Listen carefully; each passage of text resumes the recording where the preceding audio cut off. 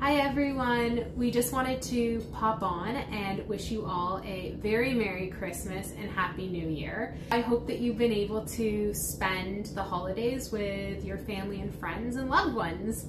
It's New Year's Eve. We are currently in the midst of preparations to have some friends over to bring in 2023. We certainly hope that everybody's had a wonderful festive season and that they all have a great start to the new year. In the meantime, then we've got some um, exciting things to announce.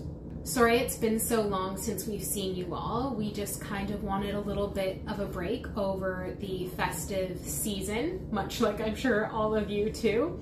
It was much needed and deserved. We got to a point where things got really busy, and so we kind of decided when it came to the festive season that we just wanted to take some time to spend with our family, with our friends, and so we decided that we are going to just take a bit of a momentary break from filming um, with a view to just recharging the batteries so that we can really get going in the new year. With that, then, we got a couple of exciting toys. Uh, so the first thing is that we are currently shooting this on an all new gimbal, so hopefully for any of those kind of unsteady shots or anything like that, then hopefully that will sort that out. We also heard you uh, in the comments about the sound quality of videos. So we actually have two microphones that I believe connect to our phones and then also to our bodies and work via Bluetooth. So hopefully that should improve the sound quality, especially when it's windy outside or noisy somewhere too. Yeah, I also received a new bag, so it's a wheelie bag, so it's a carry-on, but also has straps, so it can either just be a wheelie carry-on or it can be a rucksack. So that should help with all things to do with baggage, it means we don't have to pay extra on baggage fees, have to deal with baggage reclaim or anything like that, so should make traveling a lot easier. Thank you, Sue and Dave. Indeed. Thanks, Mum and Dad.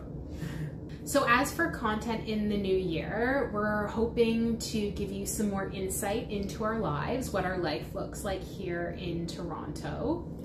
On top of that, because we have lived here for a while, then we have built up a decent compendium of places that we like to go.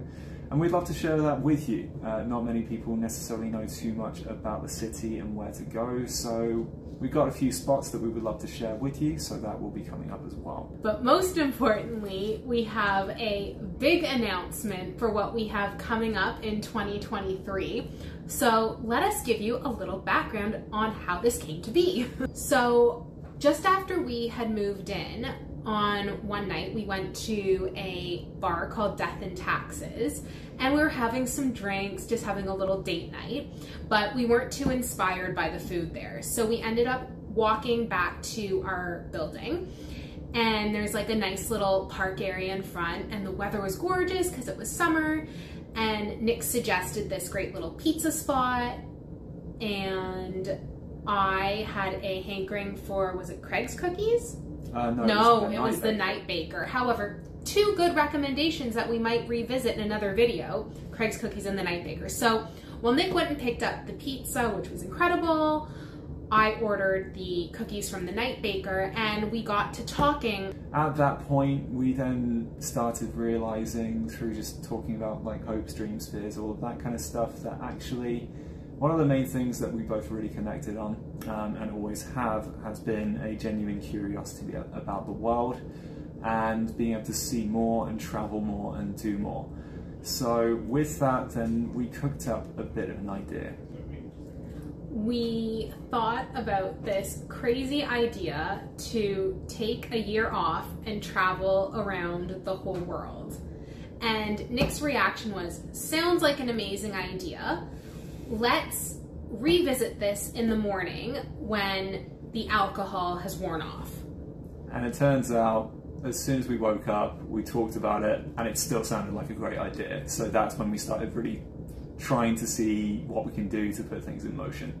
Yeah, there were a lot of nuts and bolts to work out and practicalities because this isn't something that we could do spur of the moment. So from June 2021 to April 2023 when we're going to be leaving. That's almost two years. that's a lot of thought we've put into this and a lot of planning. And now our dream is coming true.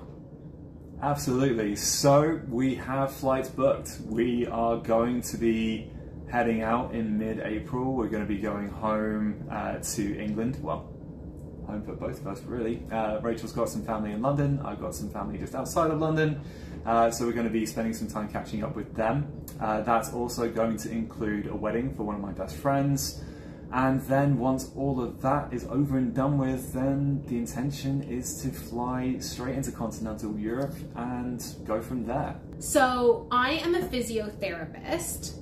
And I work for a tech company currently.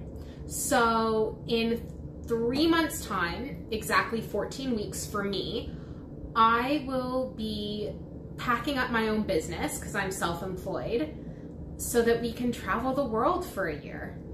Yep, and I have already put my company on notice of the fact that I'm going to be leaving on the 31st of March as well. And that is then with a view to having a couple of weeks to just try and get any last minute logistical stuff all sorted out before we then head over. So, mid April, we will be heading over to England to spend time with our family and friends before we go off on our grand adventure.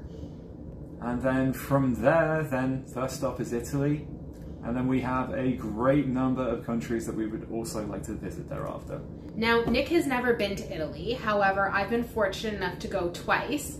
But I'm really looking forward to showing you around and going back myself, of course. I can't wait for the food, especially carbonara and, and some good wine. And I'm just excited for all of it, honestly. People have often told me that it's basically my dream country, what with all the history, lovely people, beautiful culture and language, um, and of course, the food and drink. I just have visions of us sitting like in a park, enjoying some wine and some food that we've got from the grocery store, traditional food, hopefully, because when you're traveling for a year, you need a budget. So we have set ourselves a budget of approximately 100 Canadian dollars a day. There will be some countries where, of course, we have to go over, but hopefully there's other countries where we can make up for this and spend a little less than that every day. And based on that budget, then we're hoping to make that stretch across what is currently quite a loose itinerary, but it's going to include Italy, Slovenia, Croatia, Turkey, Egypt, Jordan, the UAE, including Dubai, Oman, India, Sri Lanka, South Korea, Hong Kong, all of Southeast Asia from Vietnam all the way down to Singapore. We're hoping to do that over land.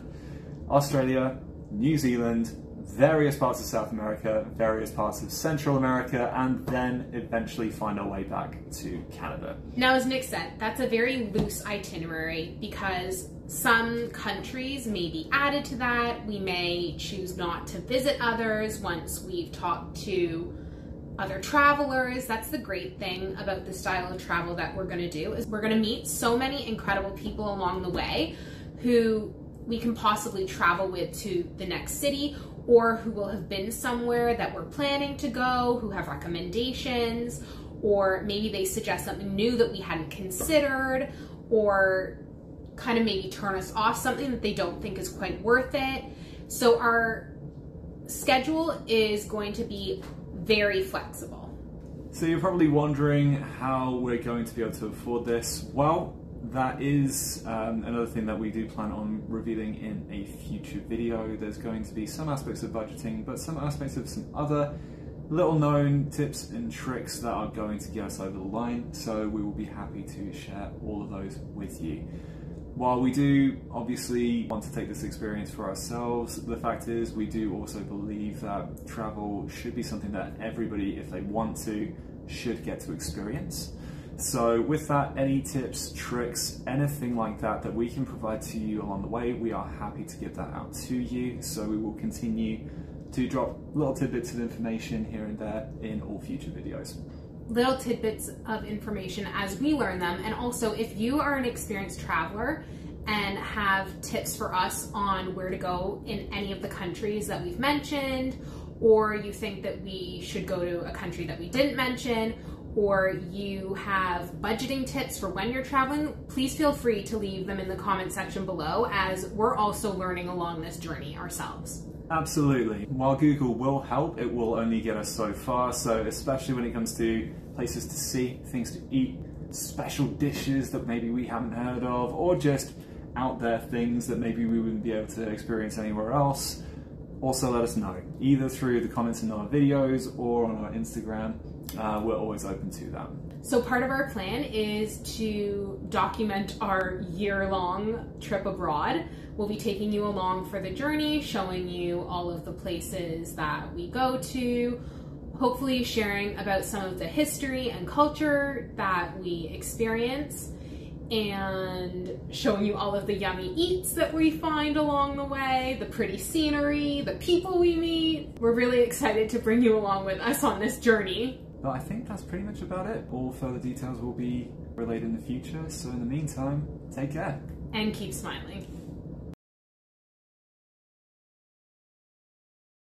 Oh, Dante, no, no. Buddy. Hey. He's good. So, the other thing that you're probably wondering is how are we intending on affording all of this? Well, alongside the stringent budgeting that we're hoping to do, then we are also planning on doing a little bit of travel hacking to get us up there. Dante, say hello. Say hello to the people. The public Dante. Dante. Oh, there you, There are. you are. Hey, buddy. Such a pretty boy. Hello.